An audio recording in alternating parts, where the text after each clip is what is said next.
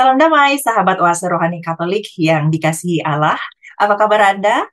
Saya berharap Anda merasa baik, merasa sehat, dan juga merasakan damai sejahtera, karena kita akan lebih diteguhkan lagi, terutama dalam kesempatan kali ini lewat firman Tuhan, agar kita semakin bisa merasakan damai sejahtera dan sukacita melampaui berbagai keadaan. Senang bisa berjumpa kembali di Oase Rohani Katolik kali ini bersama saya Magdalena Pinky Beran dan juga Romo Stefanus Tino Dwi Prasetyo PR. Halo Romo Tino, apa kabarnya? Baik, kabar baik, kabar suka kita. Yes, sedang padat-padatnya kegiatan ya Romo. Tapi kami sangat bersuka cita karena Romo bersedia uh, hadir bersama kami dalam Oase Rohani Katolik kali ini. Kita bisa mulai ya Romo? Baik, silahkan. Baik, sahabat Oase Rohani Katolik yang terkasih, mari kita awali perjumpaan kita yang berbahagia ini dengan doa pembukaan yang akan dipimpin oleh Romo Tino. Silakan Romo. Mari saudari dan saudaraku yang terkasih, sahabat Oase Rohani Katolik yang dikasihi Tuhan di mana pun Anda berada, kita memulai permenungan kita pada hari ini dengan berdoa. Dalam nama Bapa dan Putra dan Roh Kudus. Amin. Allah Bapa, sumber kehidupan, Engkau menganugerahkan keselamatan kepada dunia melalui salib Yesus Kristus Putramu. Bimbinglah kami untuk selalu mengakui keagungannya dengan sikap hidup rendah hati di hadapanmu dan sesama. Demi Yesus Kristus Putramu, Tuhan dan pengantara kami, yang hidup dan berkuasa, kini dan sepanjang segala masa. Amin. Dalam nama Bapa dan Putra dan Roh Kudus. Amin. Bacaan pertama. Bacaan dari surat Rasul Paulus kepada jemaat di Filipi. Saudara-saudara, dalam hidup bersama hendaklah kalian bersikap seperti Kristus Yesus. Walaupun dalam rupa Allah, ia tidak menganggap kesetaraan dengan Allah itu sebagai milik yang harus dipertahankan. Sebaliknya, ia telah mengosongkan diri dan mengambil rupa seorang hamba dan menjadi sama dengan manusia. Dan dalam keadaan sebagai manusia, ia telah merendahkan dirinya dan taat sampai wafat, bahkan sampai wafat di kayu salib. Itulah sebabnya Allah sangat meninggikan dia dan menganugerahinya nama di atas segala nama, supaya dalam nama Yesus bertekuk lututlah segala yang ada di langit yang ada di atas dan di bawah bumi, dan bagi kemuliaan Allah Bapa, semua lidah mengakui Yesus Kristus adalah Tuhan. Demikianlah sabda Tuhan. Syukur kepada Allah. Mazmur tanggapan. Aku melambungkan puji-pujian di tengah jemaat yang besar, ya Tuhan. Aku melambungkan puji-pujian di tengah jemaat yang besar, ya Tuhan. Nazarku akan kubayar di depan orang-orang yang takwa. Orang miskin akan makan sampai kenyang, orang yang mencari Tuhan akan memuji-muji dia. Biarlah hati mereka hidup untuk selamanya. Aku melambungkan puji-pujian di tengah jemaat yang besar, ya Tuhan. Segala ujung bumi akan menjadi sadar, lalu berbalik kepada Tuhan segala rumpun bangsa akan sujud menyembah di hadapannya. Sebab Tuhanlah yang empunya kerajaan, dialah yang memerintah atas bangsa-bangsa. Ya, kepadanya akan sujud menyembah semua orang sombong di bumi. Aku melambungkan puji-pujian di tengah jemaat yang besar, ya Tuhan. Dan aku akan hidup bagi Tuhan, anak cucuku akan beribadah kepadanya. Mereka akan menceritakan hal ikhwal Tuhan kepada angkatan yang akan datang dan menuturkan keadilannya kepada bangsa yang akan lahir nanti. Semua itu telah dikerjakan oleh Tuhan. Aku melambungkan puji-pujian di tengah jemaat yang besar, ya Tuhan. Kini kita siapkan hati kita mendengarkan Injil Tuhan. Haleluya, haleluya, haleluya. Haleluya, haleluya, haleluya. Datanglah kepadaku semua yang letih lesu dan berbeban berat. Aku akan memberikan kelegaan kepada kalian. Haleluya, haleluya, haleluya. Tuhan bersamamu Dan bersama rohmu, Inilah Injil suci menurut Lukas. dimuliakanlah Tuhan. Dimuliakanlah Tuhan. Pada waktu itu Yesus diundang makan oleh seorang Farisi. Sementara perjamuan berlangsung, seorang dari tamu-tamu berkata kepada Yesus, "Berbahagialah orang yang akan dijamu dalam kerajaan Allah." Tetapi Yesus berkata kepadanya, "Ada seorang mengadakan perjamuan besar. Ia mengundang banyak orang. Menjelang perjamuan dimulai, ia menyuruh hambanya mengatakan kepada para undangan, Marilah, sebab segala sesuatu sudah siap. Tetapi mereka semua minta dimaafkan. Yang pertama berkata, Aku baru membeli ladang dan harus pergi melihatnya. Aku minta dimaafkan. Yang lain berkata, Aku baru membeli lima pasang lembu kebiri dan aku harus pergi mencobanya. Aku minta dimaafkan. Yang lain lagi berkata, Aku baru saja menikah, dan karena itu aku tidak dapat datang. Maka kembalilah hamba itu dan menyampaikan semua itu kepada tuannya. Lalu murkalah tuan rumah itu dan berkata kepada hambanya, Pergilah segera ke segala jalan dan lorong kota, dan bawalah kemari orang-orang miskin dan cacat, orang-orang buta dan lumpuh. Kemudian hamba itu melaporkan, Tuan, apa yang Tuhan perintahkan sudah dilaksanakan. Sekalipun demikian masih ada tempat. Maka Tuhan itu berkata, Pergilah ke semua jalan dan persimpangan, dan paksalah orang-orang yang ada di situ masuk, karena rumahku harus penuh. Sebab aku berkata kepadamu, tidak ada seorang pun dari para undangan itu akan menikmati jamuanku. Demikianlah sabda Tuhan. Terpujilah Kristus. Sahabat Oase Rohani Katolik yang terkasih, kini mari kita memasuki sesi yang pertama dalam permenungan kita. Romotino dari bacaan hari ini sepintas saya ngerasa sepertinya yang eh, sedang dibicarakan ini diri saya nih. Pada saat Tuhan minta melakukan sesuatu, kayaknya banyak excuse-nya ya.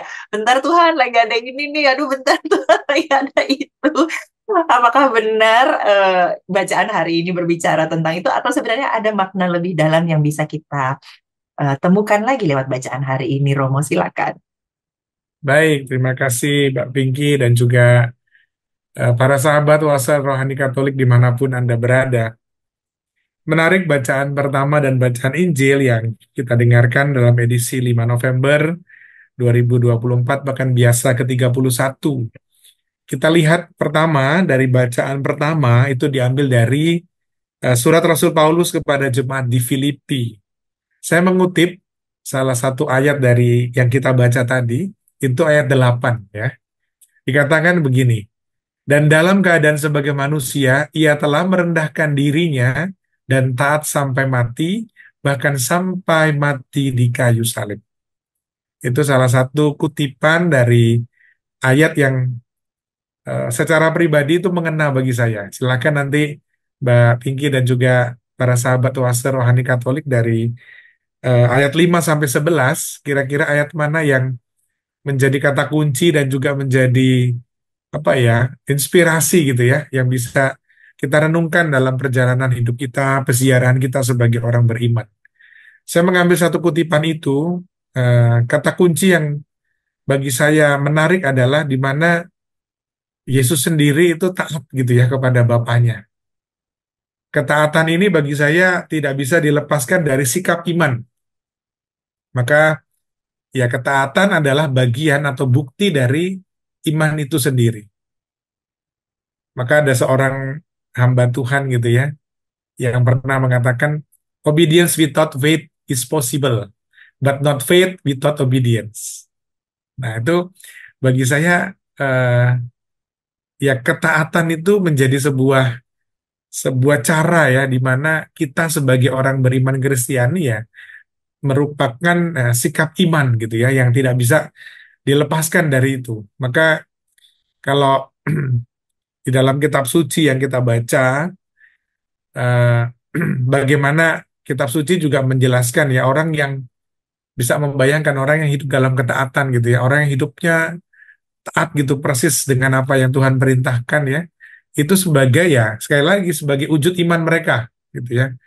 Mereka sedemikian rupa ya dengan dengan ketekunannya, dengan segala macam upayanya ya berusaha gitu ya untuk uh, menjadi pribadi yang taat. Ya misalnya saja dalam tokoh-tokoh yang kita kenal misalnya seperti Daniel atau misalnya seperti Mesah atau Abednego gitu ya. Bagaimana mereka sendiri pun juga memberikan teladan ya, ketaatan gitu ya. Bukan hanya Yesus tetapi uh, tokoh-tokoh nabi-nabi ataupun juga para murid juga sudah memberikan uh, contoh ya ketaatan. Tapi juga ada pribadi-pribadi yang tidak taat gitu. Ya salah satunya mungkin saya gitu ya.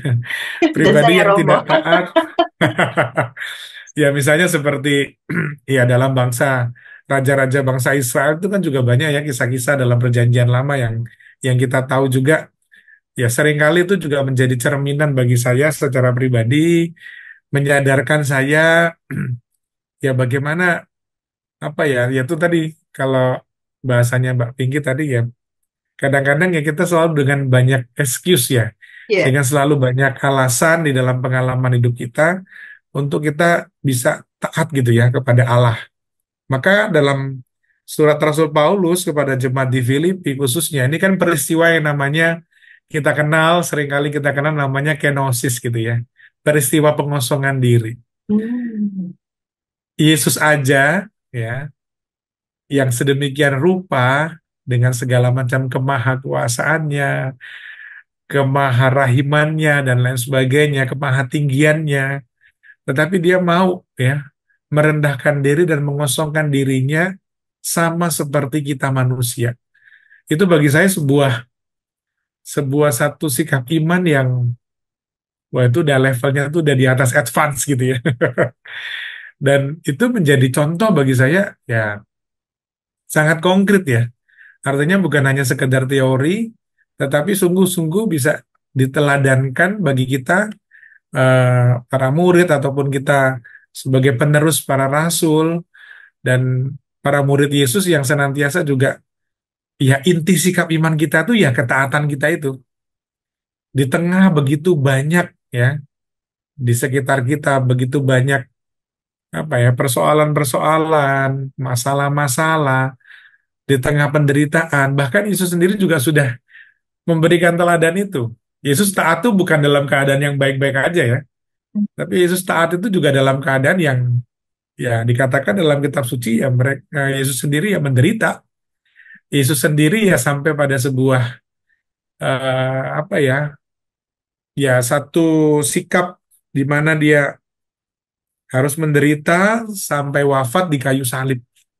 Itu kan artinya uh, ya kalau kita taat dalam keadaan yang biasa-biasa aja sih, ya mungkin bisa dikatakan gampang kali ya. Yeah, Tapi kalau yeah. kita menghadapi persoalan gitu ya, penderitaan, lah gimana harus kita taat gitu ya. Sedangkan kita sendiri masih berjuang dengan penderitaan itu, bahkan mungkin kita protes ya. Yeah. Maka di tengah banyaknya pergumulan, di tengah banyaknya penderitaan ya, akibat masalah-masalah, tapi justru Yesus memberikan teladan memberikan bukti ketaatan di tengah penderitaannya. Nah ini yang bagi saya sih sangat istimewa dan luar biasa ya. Sikap iman sekali lagi ya, wujud sikap iman gitu ya.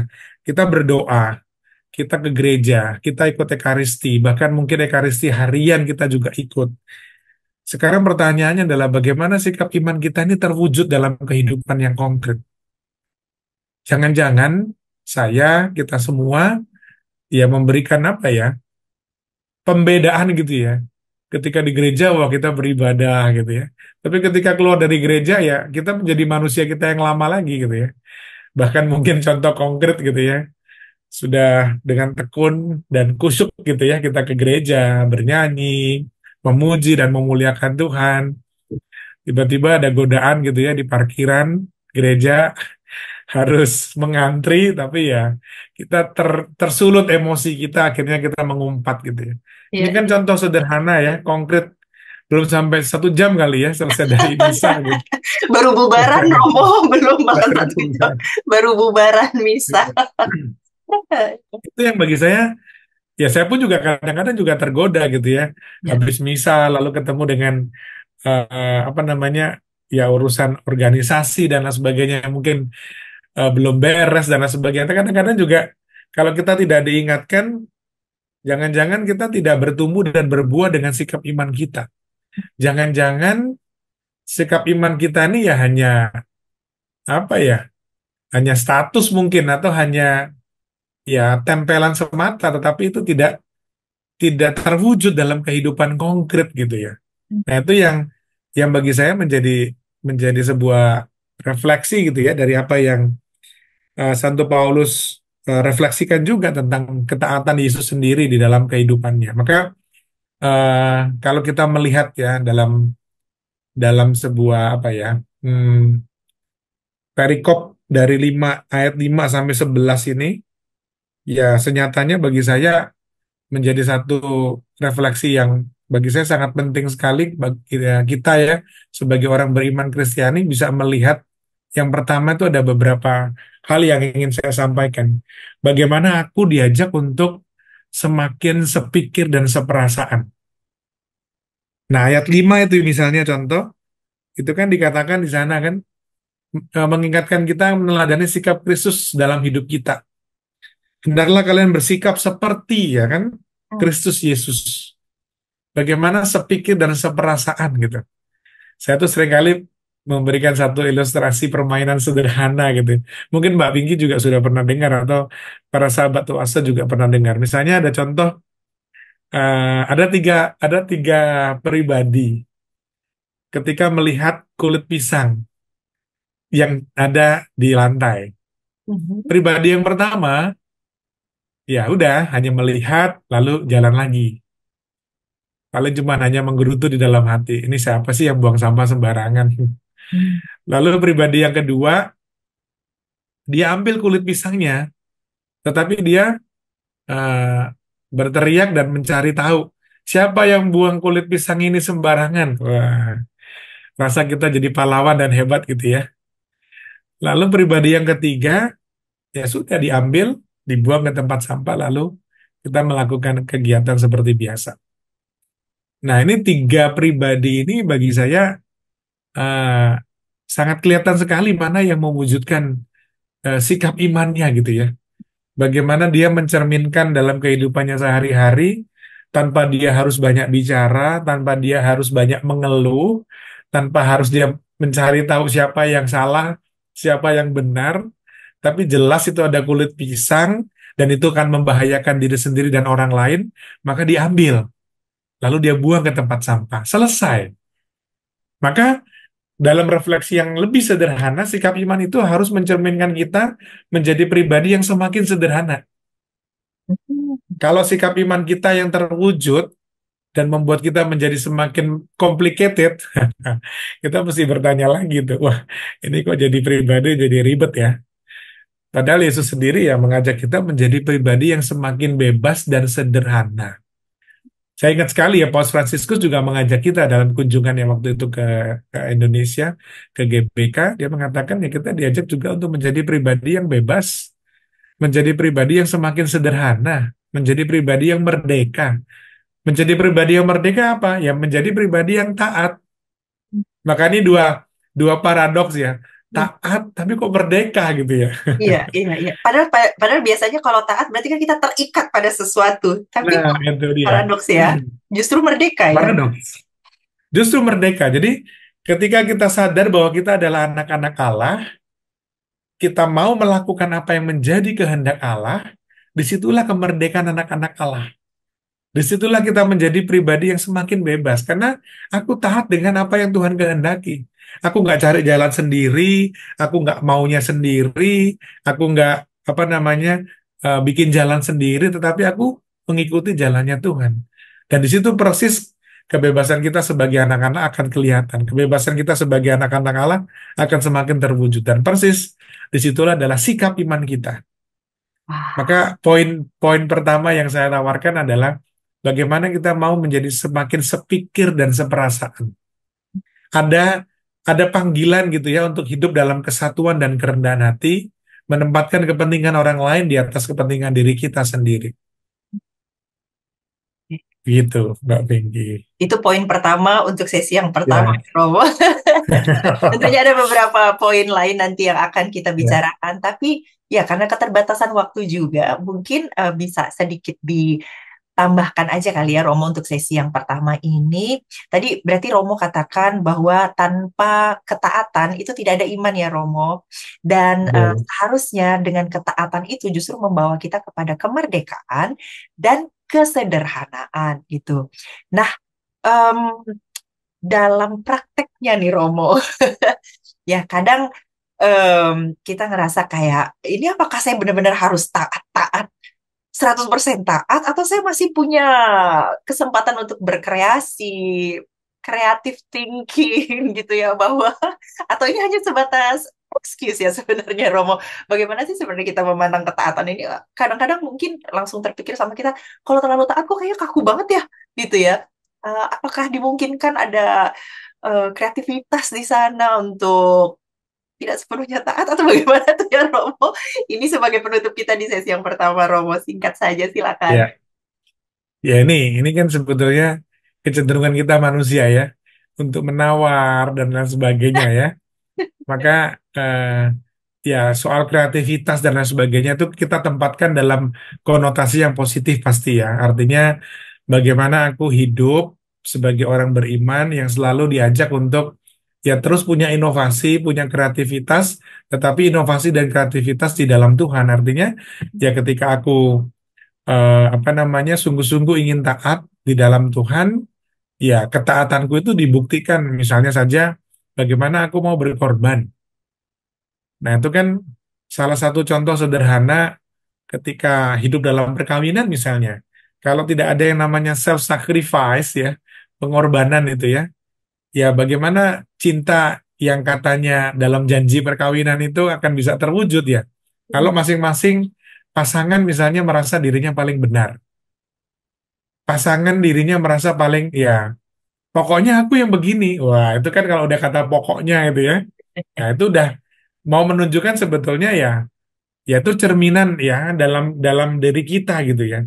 Maka ya itu yang disebut dengan ya kreativitas yang yang dalam konotasi negatif ya. Hmm. Tetapi bagaimana kita diajak untuk uh, semakin hari ya semakin persis ketika Tuhan mau berkorban ya sepikir seperasaan berarti kita juga diajak untuk berkorban. Hmm. Kalau kita tahu bahwa uh, ekaristi ya hidup kita semakin ekaristis gitu ya, uh, diambil, lalu diberkati, dipecah-pecah, lalu dibagi-bagikan, maka ya hidup kita pun juga semakin ekaristis. Berarti hidup kita pun juga menjadi apa namanya uh, milik orang lain. Kita juga mau memberikan diri kita berbagi juga untuk orang lain. Maka semangat dalam Arda sendiri itu sangat menunjukkan semangat yang ekaristis, mewujudkan sikap iman gitu ya, mengasihi, peduli dan bersaksi. Maka itulah yang yang menjadi uh, panggilan sederhana, wujud konkret yang bisa kita terapkan dalam kehidupan kita sehari-hari tanpa harus kita bikin yang hebat-hebat, hmm. tetapi kita bisa sangat sederhana dalam kehidupan konkret setiap pagi misalnya. Bagaimana uh, dalam keluarga uh, seorang istri, seorang ibu menyiapkan segala sesuatunya dengan hati yang tulus dan gembira, tanpa mungkin harus dilihat, tanpa mungkin harus di ucapkan terima kasih, tapi sungguh-sungguh melakukan rutinitas itu dengan hati yang gembira.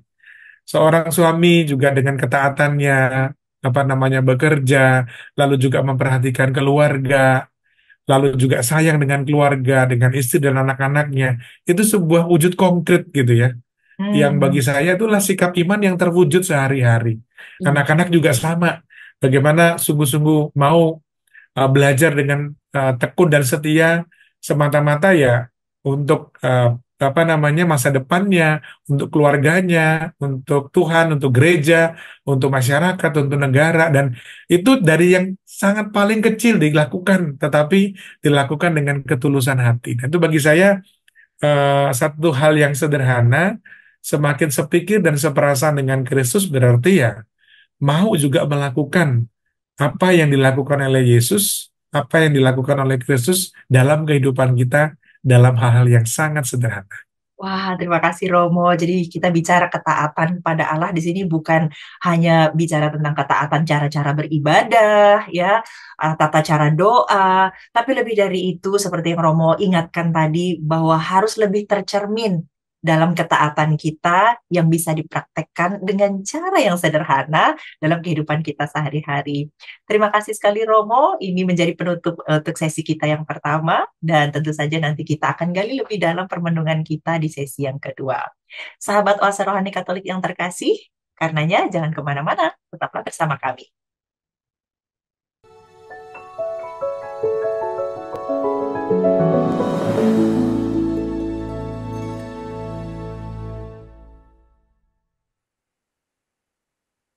Sahabat Oase Rohani Katolik yang terkasih, terima kasih Anda masih bersama kami, Romo Stefanus Tino Dwi Prasetyo PR, dan saya Magdalena Pinky Berat. Dan kini kita akan memasuki sesi yang kedua. Setelah tadi di sesi yang pertama, bagaimana kita mendapatkan permenungan dari bacaan hari ini tentang ketaatan, di mana ketaatan justru ternyata tidak membuat kita terikat ketaatan justru membawa kita kepada kebebasan dan juga kesederhanaan. Dan tadi Romo sudah sebutkan di sesi yang pertama bagaimana ketaatan ini juga menjadi tanda bahwa kita sudah beriman. Jadi tidak ada iman tanpa ketaatan. Begitu kan ya Romo tadi di sesi yang pertama. Baik Romo, kini di sesi yang kedua permenungan lebih lanjut yang seperti apa yang bisa kita dapatkan. Silakan. Ya, terima kasih. Mbak Pinkan dan sahabat wasa rohani Katolik di mana pun Anda berada dan yang dikasih Tuhan. Kita akan melanjutkan permenungan yang kedua, ini juga semakin mendalam gitu ya.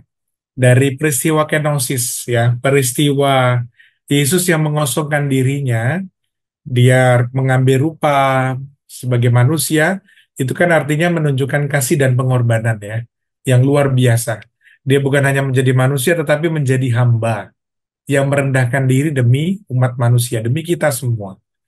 Nah, maka sikap batin semacam inilah yang menjadi keutamaan gitu ya, hidup kita sebagai seorang beriman. Nah, di dalam bacaan Injil yang kita dengarkan, ini gambaran sebuah perumpamaan yang tadi kita juga lihat sendiri dan kita baca, perumpamaan tentang sebuah pesta yang besar gitu ya, yang memberikan uh, satu refleksi bagi saya uh, mengenai undangan Allah dan bagaimana kita manusia merespon undangan itu. Maka ketika kita dihadapkan dengan undangan Allah, ini kalau hatinya itu apa ya masih sibuk gitu ya dengan dengan belenggu-belenggu yang masih ada dalam diri kita, nah tampaknya undangan Allah ini bisa jadi ya uh, tidak terdengar atau terdengar tapi kita mengabaikan sebagaimana juga di kisahkan di dalam perumahan itu ya. Ada seorang yang mengadakan perjamuan, mengundang banyak orang, tetapi apa yang dikatakan di sana? Tetapi mereka semua minta dimaafkan. Ada orang pertama, orang kedua, dengan segala macam alasan-alasannya. Nah, maka di sini satu dua hal yang saya mencoba untuk apa ya melihat ya ini undangan Allah yang seperti apa gitu ya.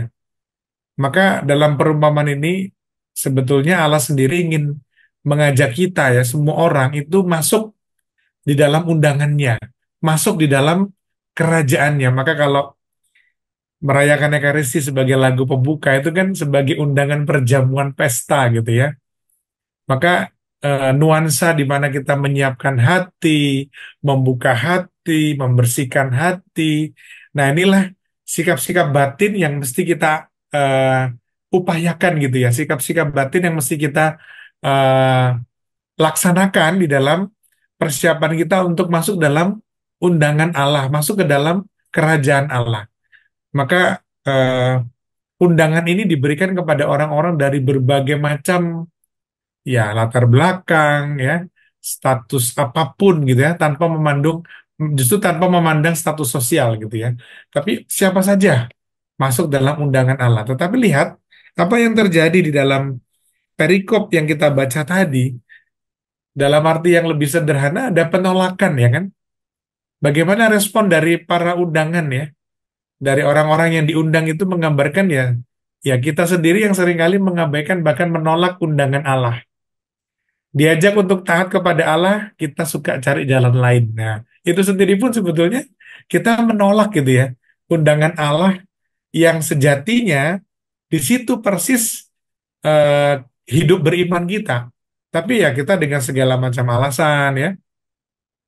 Meskipun kelihatannya alasannya logis gitu ya. Meskipun kelihatannya alasannya benar, tetapi sebetulnya kita uh, di sini saya belajar sebetulnya bagaimana menempatkan diri dan prioritas. Apakah dalam hidup saya, dalam hidup kita, kita memprioritaskan hal yang uh, selalu duniawi, apakah boleh, apakah tidak boleh? Boleh. Kita masih hidup di dunia kok ya. Ya pasti boleh. Tetapi apakah hal duniawi ini menjadi sarana kita untuk semakin dekat dengan Allah atau menjadi tujuan? Nah, ini kadang-kadang kita terbolak dan terbolak-balik ya antara mana yang sarana, mana yang menjadi tujuan. Hmm. Nah, kalau seandainya sarana-sarana itu, sarana-sarana dunia yang bersifat duniawi itu yang menjadikan kita semakin dekat dengan Tuhan, semakin menjadikan kita dekat dengan Yesus, ya itu menjadi hal yang baik. Tetapi kalau misalnya sarana-sarana secara duniawi menjadikan kita semakin jauh, ya itu yang membuat kita akhirnya bertanya gitu, di manakah ketaatan kita kepada Allah? Saya selalu itu memberikan contoh sederhana gitu ya, logika sederhana juga kepada calon-calon pasangan Pak Sutri ya, pada saat kanonik misalnya, atau pada saat pengajaran uh, apa namanya uh, membangun rumah tangga. Saya mengatakan kalau seandainya kita yakin ya, pas calon pasangan ini akan menikah, lalu mereka akan dipersatukan dengan Yesus, maka pada saat mereka diberkati, lalu setelah itu menjalankan kehidupan perkawinannya, mestinya kan semakin dekat dengan yang mempersatukan. Bener kan ya? Tetapi, sorry, kita dengan segala macam alasannya, kadang-kadang ya, wah sibuk, nggak sempat ini dan lain sebagainya. Padahal misalnya contoh, kita mau berdoa bersama dalam keluarga. Wah itu kan berbagai macam, wah excuse-nya luar biasa lah ya, segudang segudang alasan bisa kita pakai gitu ya. Akhirnya kita tidak dekat dengan yang mempersatukan kita. Kita menerima sakramen, baptis, ekaristi, krisma, dan lain sebagainya. Saya menerima sakramen imamat gitu ya. Apakah saya semakin dekat dengan Tuhan atau tidak? Semakin dekat dengan yang mempersatukan saya atau tidak? Nah ini kan menjadi pertanyaan refleksi yang mungkin baik kita renungkan dalam perjalanan hidup kita gitu ya. Aku dalam keluarga peranku apa, aku sebagai apa, dan secara personal di hadapan Tuhan seperti apa, Nah, aku bertanya, apakah selama ini aku sudah mengupayakan itu atau tidak? Atau jangan-jangan uh, ya hidup berimanku ya sekedar dalam tanda petik status gitu ya. Tetapi sungguh-sungguh aku tidak menghidupi itu sebetulnya. Artinya ya dalam dalamnya tuh kelihatannya tuh berbentuk tapi dalamnya kosong gitu ya. Nah, itu yang yang coba kita renungkan dalam dalam kisah dua kisah ini ya, baik bacaan pertama maupun juga dalam bacaan Injil, satu hal yang bagi saya eh, apa ya, yang bisa kita renungkan dan kita bawa dalam perjalanan hidup kita, kita mau diingatkan bahwa kasih Allah itu sudah berlimpah-limpah kita terima. Ketika mereka ya di dalam bacaan Injil menolak undangan Allah, tetapi bagaimana tuan ya, tuan rumah ini itu tetap mau mengundang siapa pun ya, bahkan uh, hambanya disuruh mencari ya orang-orang yang ada di pinggiran, orang-orang yang ada di apa yang tidak mungkin tidak dianggap, yang terpinggirkan, itu sebenarnya mau menunjukkan apa sih? Kasih dan anugerah Allah tuh ya dibagikan untuk semua gitu ya.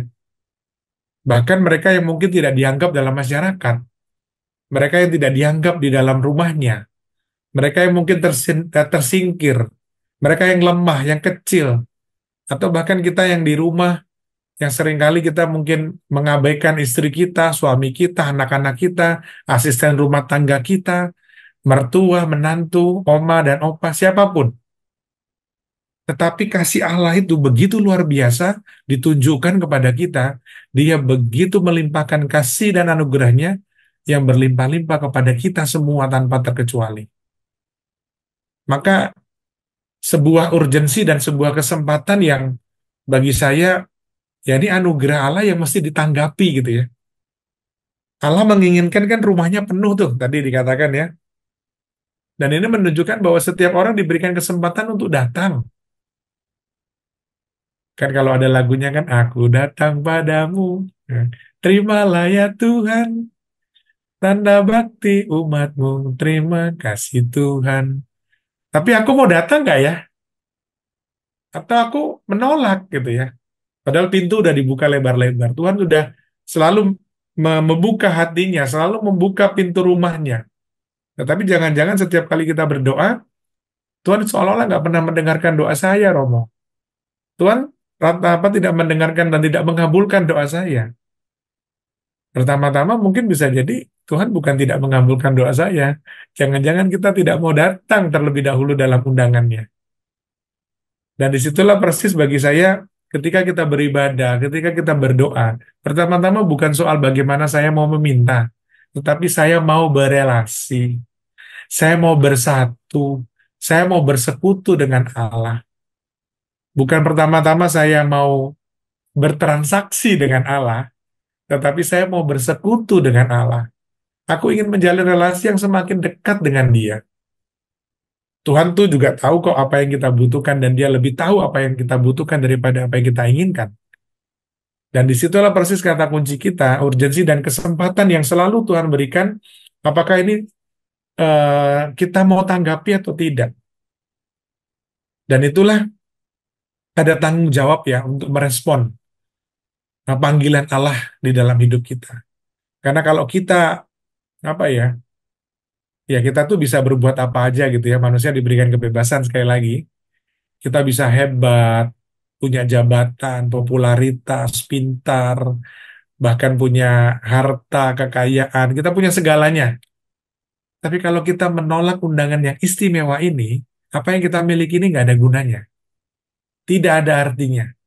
Dan persis ketika nanti kita akan berpulang, ya segala sesuatu yang ada ini kan nggak kita bawa ya. Tetapi yang kita bawa adalah bagaimana relasiku dengan Tuhan, imanku. Apakah sejauh ini imanku itu terwujud dalam kehidupan, sikap imanku terwujud dalam relasiku dengan sesama. Tadi saya tergelitik dengan Mbak Pinky yang ngomongin soal bukan hanya peribadatan, betul. Bukan hanya soal mempermasalahkan berdiri atau berlutut ya. Tetapi bagaimana aku saat ini diajak secara lebih luas, bukan itu tak penting ya, tetapi itu penting. Tetapi bagaimana aku diajak semakin luas cakrawalaku untuk melihat orang-orang di sekitarku yang butuh sapaanku. Mungkin kita nggak bisa melakukan banyak hal, tapi ketika kita hadir dan kita memberikan senyum misalnya, kepada orang yang mungkin letih lesu, yang mungkin saat ini sedang terpuruk, yang saat ini mungkin dalam pergumulan, tapi aku mau hadir. Atau kalau nggak bisa senyum, aku mendoakan deh. Dan itulah rahmat yang bisa kita bagikan uh, dalam kesempatan kita kali ini. Dan semoga ya saya pun sendiri diingatkan sebagai imam, bagaimana ya berjuang, kita sama-sama berjuang. Mbak Pinky, saya, eh, sahabat-sahabat Wasarwani Katolik pun juga sama-sama berjuang anda yang saat ini mungkin dalam perjalanan pekerjaan, mungkin yang saat ini sedang bergumul, mungkin yang saat ini sedang ya kehidupannya lagi ruwet gitu ya. Begitu banyak hal yang harus dihadapi dan diselesaikan. Tapi yakin dan percaya, kasih Tuhan itu sudah berlimpah-limpah dianugerahkan kepada kita. Dan kita mensyukuri rahmat Tuhan itu, ya dalam hati kita selalu uh, mengucap terima kasih ya. Dan bersyukur atas semua rahmat dan anugerah yang Tuhan berikan buat kita. Terima kasih sekali Romo. Ini um, semakin membuka cakrawala kita, uh, pemahaman kita akan apa yang kita baca hari ini bicara tentang ketaatan ya Romo. Tadi saya senang sekali mendengar uh, Romo berkata bahwa undangan pesta ini adalah undangan untuk taat, undangan untuk semakin dekat dengan Allah sebenarnya mungkin selama ini saya pribadi ya ini Romo kalau membaca perikop ini tuh berpikirnya ini undangan untuk ikut pelayanan, aktif di gereja, lingkungan, terus masih nanti-nanti gitu ya. Tapi ternyata tidak hanya bicara itu saja gitu. Uh, kita seolah-olah pada saat bicara taat itu artinya hidup hanya urusan ibadah. Terus kalau tidak ibadah artinya tidak taat.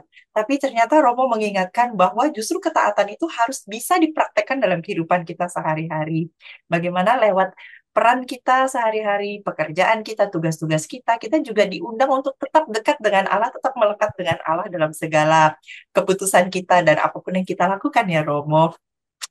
Terima kasih sekali Romo untuk permenungan yang luar biasa. Sekarang mari kita sama-sama, sahabat asal rohani Katolik, saling mengingatkan untuk ketaatan ini Apakah sudah benar kita praktekkan dengan ketulusan, sudah membawa kebebasan, sudah membawa kesederhanaan, dan tentunya itu tadi ya Romo, uh, kita semakin apa tadi kata-katanya Romo sehati dan sepikiran gitu ya orang di sekitar kita.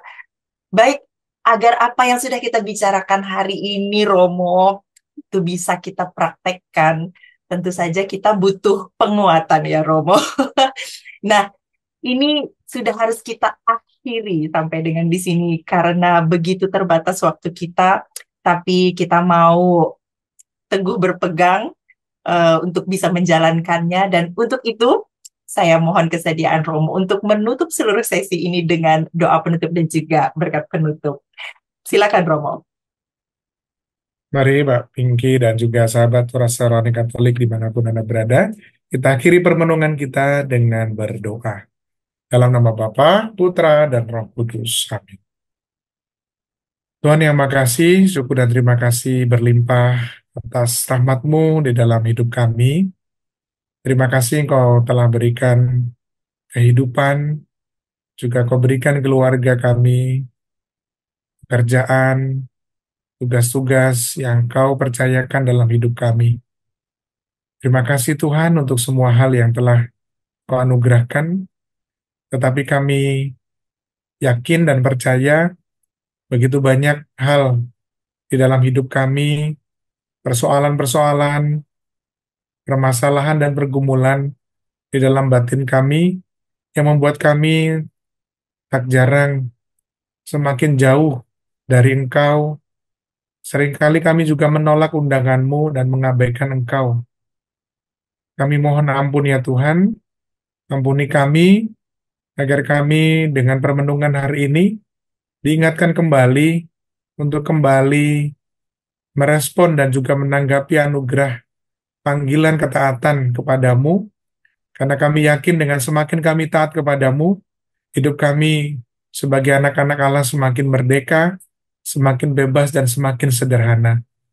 Dan biarlah upaya-upaya yang boleh kami usahakan di dalam kehidupan kami sehari-hari, Bersama keluarga dan komunitas kami, sungguh boleh Engkau kuatkan, dan pada saatnya sungguh boleh merasakan damai dan sukacita di dalam setiap perjuangan hidup kami.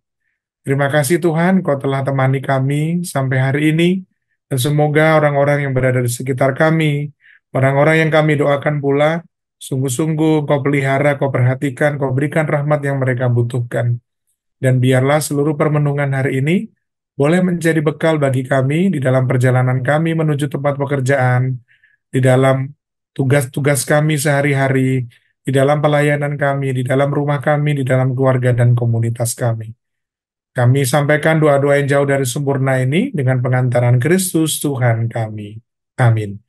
Dan semoga kita semua, orang-orang yang kita doakan, keluarga-keluarga dan komunitas kita, tugas karya pelayanan dan pekerjaan yang Tuhan percayakan dalam hidup kita sepanjang hari ini senantiasa dilindungi, dibimbing, dan diteguhkan oleh berkat Allah yang Maha Kuasa, Bapa, Putra, dan Roh Kudus. Amin.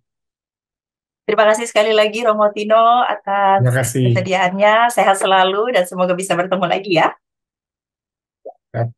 Sahabat Ortodoksi Katolik yang terkasih, demikianlah uh, oase rohani Katolik kita dalam sesi dan kesempatan kali ini. Sekali lagi, tiada iman tanpa ketaatan dan lewat ketaatan kita justru dituntun pada kesederhanaan dan kebebasan. Romo Stefanustino, Dwi Prasetyo PR, dan saya Magdalena Pinky Beran mohon pamit. Sampai bertemu lagi di lain kesempatan. Salam damai, Tuhan Yesus memberkati.